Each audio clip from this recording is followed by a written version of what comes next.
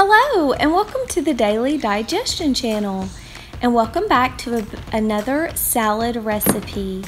And what we have here is some grated carrot, chopped spinach, some apple and raisins, and here we have some lentil sprouts, chopped spinach, and some radishes and there's some little bit of red pepper over there.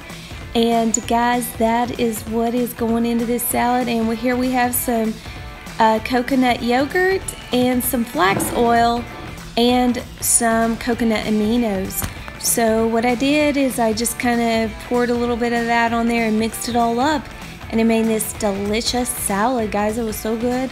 And then I went ahead and added some nutritional yeast and dulse because I am just really digging those flavors. And I used to be able to not like, I didn't like that in my salad. Like, I was like, ooh, that tastes gross. But now my taste buds have changed and I absolutely love it. So if you stick to raw foods and you keep juicing and you keep cleansing your body out, uh, the healthier natural foods will just start to taste really good to you and you'll just start to crave them and then you won't even crave the other things like the potato chips and the um, all of the processed stuff. You just won't even really have a craving for that stuff anymore. It's kind of strange. So uh, stick with it if you're struggling. Don't give up. And uh, you know we all fall off the wagon and uh, we just got to get back up and keep trying, guys, but don't ever, ever give up.